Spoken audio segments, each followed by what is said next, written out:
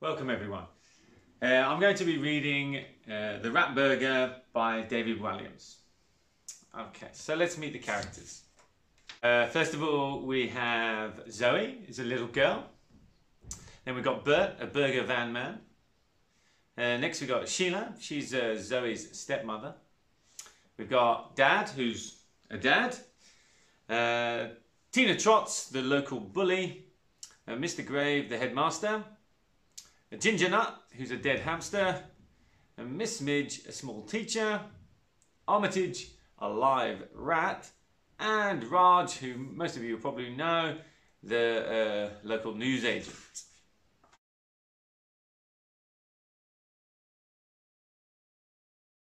Okay, chapter one. Prawn cocktail crisp breath. The hamster was dead. On his back. Legs in the air. Dead. With tears running down her cheeks, Zoe opened the cage. Her hands were shaking, her heart was breaking. As she laid Ginger Nut's little furry body down onto the warm carpet, she thought she would never smile again. Sheila, called Zoe as loudly as she could. Despite her father's repeated pleas, Zoe refused to call her stepmother Mum. She never had, and she vowed to herself that she never would. No one could replace Zoe's mum, not even her stepmother, even not that her stepmother even tried. Shut your face! I'm watching TV and stuffing myself, came the woman's gruff voice from the lounge. It's Ginger Nut, called Zoe. He's not well. This was an understatement. Zoe had once seen a hospital drama on the telly where a nurse tried to revive a dying old man, so she desperately attempted to give her mouth, hamster mouth to mouth resuscitation by blowing very gently into its open mouth. That didn't work. Neither did connecting the rodent's little heart to an AA battery with a paperclip. It was just too late. The hamster was cold to the touch, and he was stiff.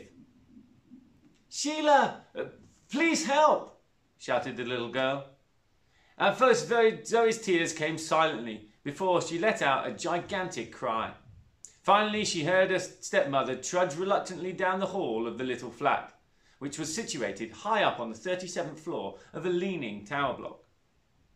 The woman made huge effort noises whenever she had to do anything.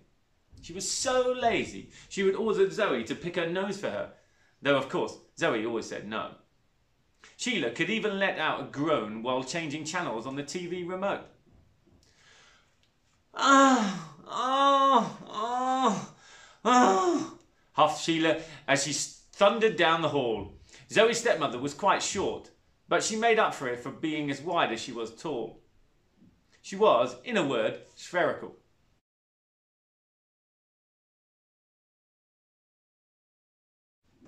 Soon Zoe could sense the woman standing in the doorway, blowing out the light from sorry, blocking out the light from the hall like a lunar eclipse. What's more, Zoe could smell the sickly sweet aroma of prawn cocktail crisps. Her stepmother loved them. In fact, she boasted that when she was a toddler, she had refused to eat anything else and spat any other food back in her mum's face. Zoe thought the crisps stank, and not even of prawns. Of course, the woman's breath absolutely reeked of them too. Even now, as she stood in the doorway, Zoe's stepmother was holding a packet of the noxious snag with one hand and feeding her face with the other while she surveyed the scene. As always, she was wearing a long grubby white t-shirt, black leggings and furry pink slippers. The bits of skin that were exposed were covered in tattoos. Her arms bore the names of her ex-husbands, all since crossed out.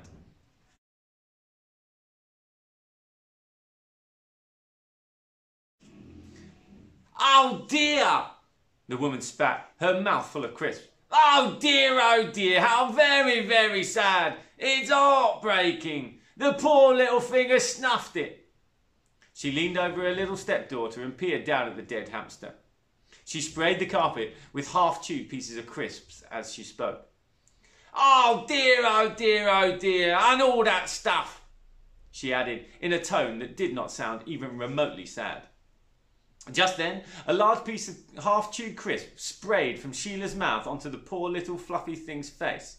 It was a mixture of crisps and spit. Zoe wiped it away gently as a tear dropped from her eye onto the cold pink nose. Here, oh, I got a great idea, said Zoe's stepmother. Oh, I just finished these crisps and you can shove the little thing in the bag. Oh, I don't want to touch it myself. I don't want to catch uh, something.